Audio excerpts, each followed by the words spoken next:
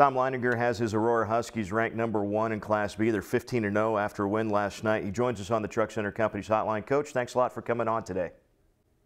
No problem. Thanks for having me. Uh, let's talk a little bit about your game last night, a win over Grand Island Northwest, 64-37. Uh, Always a good way to start the Central Conference tournament, and that's with a W. Yeah, it is. You know, it's a little sloppy at times. They're they're very aggressive and come out and kind of disrupt what you want to try to do. Um, uh, I think we fought it through it fairly well um, for the most part. Uh, we had uh, kind of even scoring, 19 in the first quarter, 19 in the second quarter, and um, you know, it kind of built a, a little bit of a lead and and um, played all right from there, I guess. Let's go back to the, the last tournament that you guys played, which was the Gretna Holiday Tournament uh, back there over the Christmas break. Uh, you guys beat Pius by 14, and then you beat Gretna by four on their home floor. How big were those two games in particular for the guys' confidence and, and just being able to say, yeah, we can play uh, at and above uh, the top teams in this class? Yeah, I, well, I think it was really big for us. Um, you know, last year we we, go 25 and two, and and in a, played at a very high level, and so the the bar was set pretty high with these kids.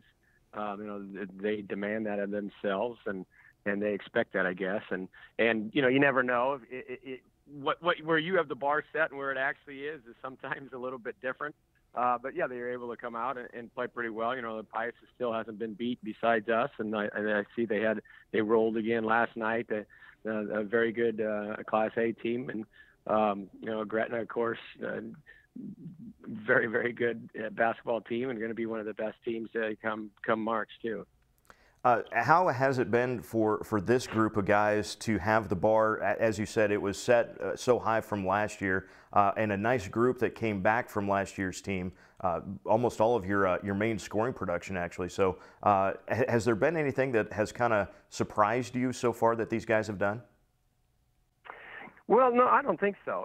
you know, we, we had a we've, we've got a sophomore that stepped up into our starting lineup.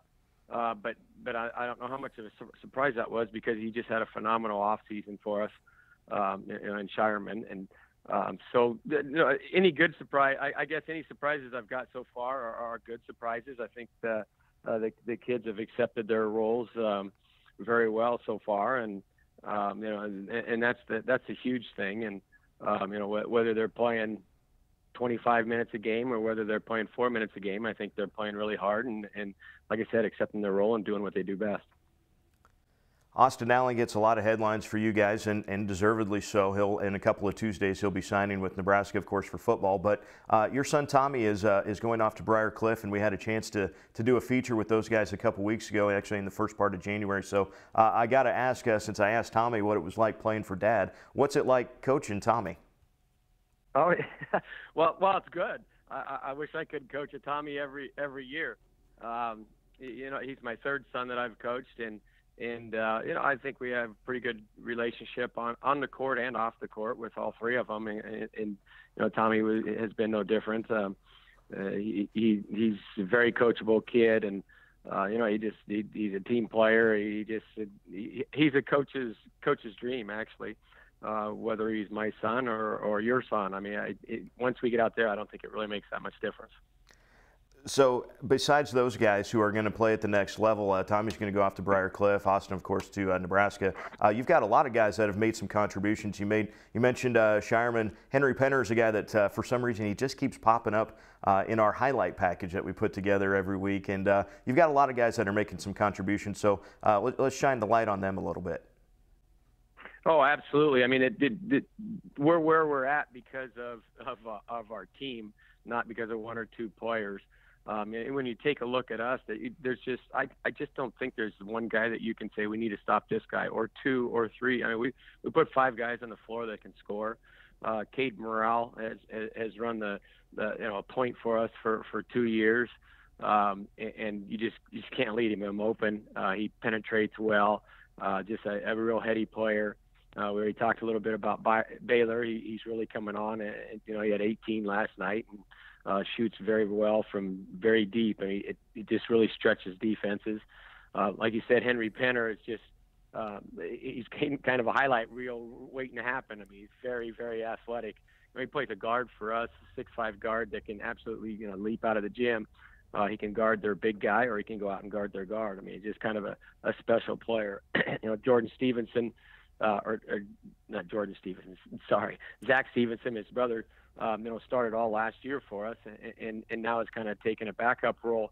But when he comes in the game, just plays really well for us. Uh, um, Hunter Holiday, another senior, same thing. Um, you know, comes in and just does his role. Came in last night and got just immediately got a big rebound and stuck it back in, and, and then made the free throw. Uh, Trent Wilson uh, comes off the bench for us, and he actually started against Central City. And in the in the start he had, he had a double double at halftime. Um, you know, he's just a kid that attacks the glass really well, uh, offensive boards, and, and and does some really good things for us. So I mean, when you take a look at us, we we play eight kids every game, and um, and they all contribute. I mean, we don't have anybody that that that that hurts us when we when we put them in the game. Uh, we're actually starting to play a little uh, Cade Reichard, a, uh, a sophomore, a little bit more too, who who really does some good things from the perimeter for us. So, um, yeah, we definitely have some depth.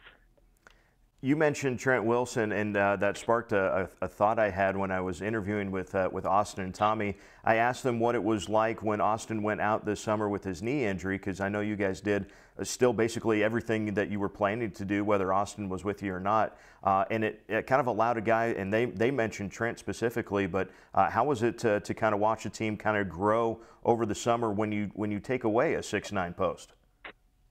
Oh yeah, yeah, it was fun. I mean, we the the schedule we lined up was unbelievable. I mean, we uh, I can't. I think we played um, 14 uh, college teams, and we played uh, 11 Class A teams, and, and and we got beat bad twice. Um, once was the very first college team we played, and we weren't ready for that. Uh, and then we played them well in that league from there on out.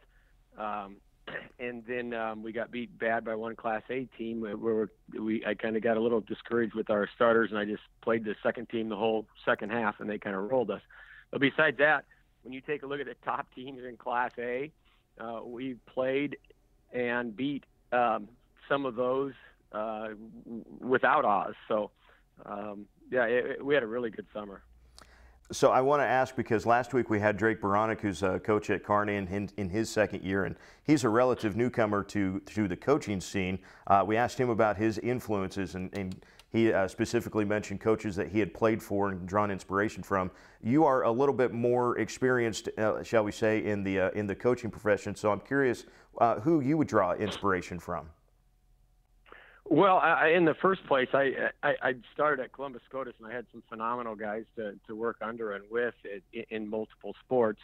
Um, you know, the, the Pitts brothers and uh, Coach Lom and Coach Spenceri and Coach Peterson and uh, th- those guys are just they are phenomenal coaches and, and phenomenal people. They I, I drew a lot of a lot of X's and O's and a lot of a lot of inspiration and perspiration with those guys. So um, that that kind of got the ball rolling. I, I've kind of stole, you know, I I've stole a lot from a lot of people at a lot of different levels, whether that's uh, you know a lot of the college coaches to to some of the college girls coaches. I mean, um, to to high school coaches.